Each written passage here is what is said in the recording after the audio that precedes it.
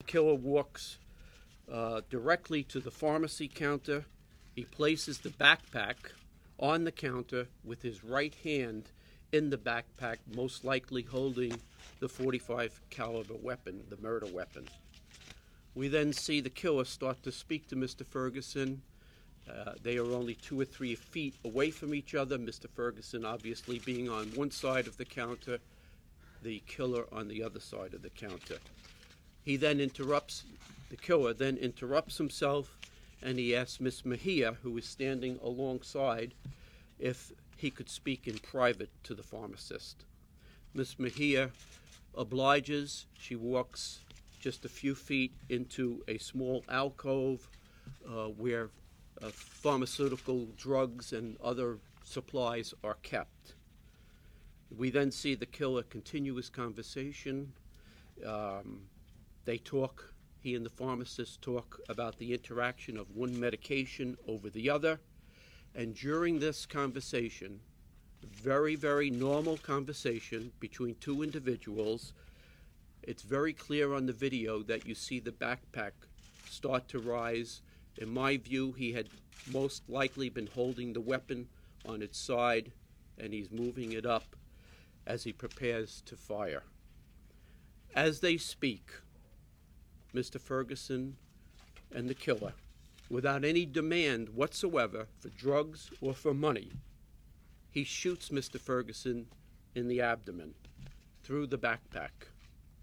We see Mr. Ferguson grab his stomach and he falls backwards to the floor, lying on his back. Clearly, and the video clearly shows that he is still moving and making some audible sounds. The killer then lifts a flip top portion of the counter top. He now has the gun out. He walks into the small storage alcove where the helpless, defenseless Jennifer Mejia was, who was trapped in that alcove. And in a second or two, we hear two loud shots. She's heard screaming. The killer has shot her twice, killing her. He then, we then see him walk back out of the alcove. He looks at Mr. Ferguson, who's lying on his back, as I said before, still moving, and he walks over to him, and at point blank range, he shoots him twice in the face, killing him. He, it appears to us that he sees someone approaching the pharmacy. Um, he hurries to the front of the pharmacy by the door and hides. Mr. Sheffield walks into the pharmacy, and we next see the killer coming directly behind Mr. Sheffield and shooting him in the back of the head. He then walks right over Mr. Sheffield and behind the counter and begins stuffing drugs into his backpack.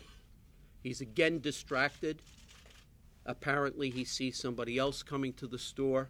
He runs to the front door. He hides between the aisles, and we see Miss uh, Jaime Taccetta as she walks in to the store towards the pharmacy counter. As he did with Mr. Sheffield, the killer shoots her in the back of the head and she falls. The police officers